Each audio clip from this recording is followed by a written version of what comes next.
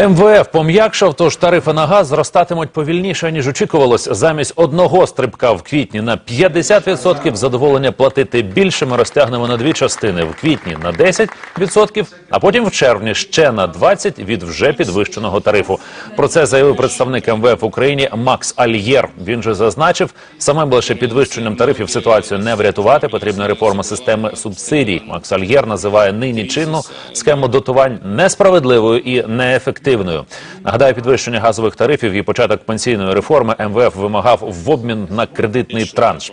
Ані без реформи, ані без міжнародних грошей Україна обійтися зараз не може. Микола Азаров не стомлюється наголошувати нинішній рік піковий по виплатах державного боргу.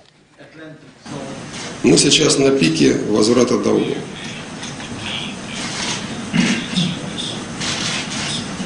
И в этом году имеем беспрецедентную цифру – 89 миллиардов. Именно вот это мешает нам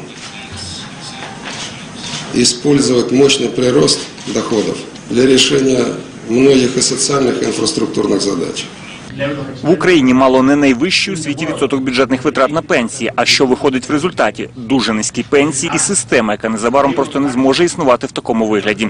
Нинішні тарифи і система субсидій також дуже несправедливі. Хто отримує субсидії? Часто це ті, хто насправді зовсім не бідний.